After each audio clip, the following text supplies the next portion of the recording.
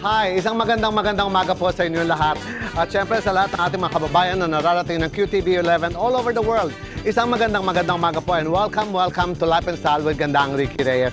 Andito po ako sa Child House. Ang kaisa-isa lamang sa buong Pilipinas na tinaguri ang The Temporary Home for People with Cancer. Dito po naninirahan ang ating mga kababayang na nagpapagamot ng cancer sa lahat ng ospital sa buong Kalakhang, Maynila. Dito po sila tumutuloy dahil sila po ang lahat ay nanggaling sa iba't ibang parte ng Pilipinas. Ibig sabihin ito yung ating mga kababayan na may sakit na cancer na walang bahay sa Metro Manila and they have to go on under treatment on the different hospital.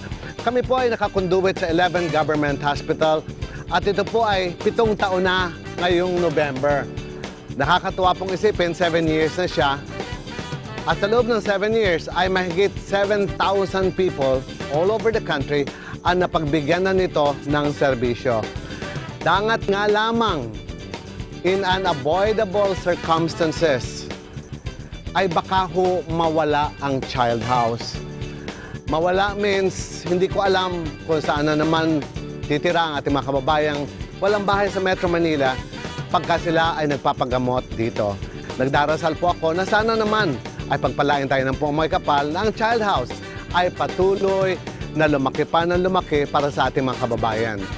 Child house, sabi ko nga, temporary home for people with cancer.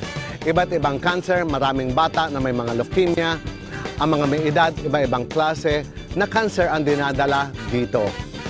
Nung isang buwan po ng buong October is tinatawag natin Cancer Awareness Month.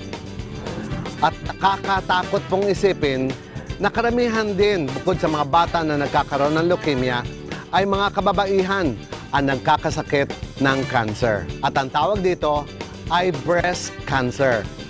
Nako, mga ka-Q, dibdibang usapan na po ito dahil ito po ang pinakamalaganap na sakit ng lahat ng kababaihan, ang breast cancer.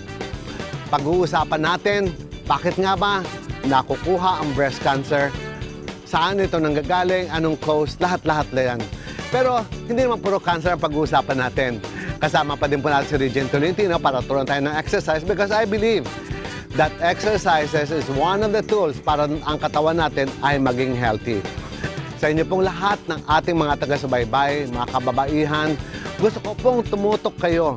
Wala mang kayong cancer, malalaman natin kung paano ito maa-avoid at hindi kayo magkakasakit nito. At kung kayo naman ay may sakit ng cancer na tinatawag nating breast cancer, paano nga ba ang mga treatment na ginagawa para dito? At mga ka-Q, maniniwala ba kayo na hindi lamang mga kababaihan na nagkakaroon ng breast cancer? Ang mga kalalakihan din. Pero sabi nila, rare daw ito. Pag-uusapan natin ho yan sa pagbabalik ng Life and Style with Gandang Ricky Reyes.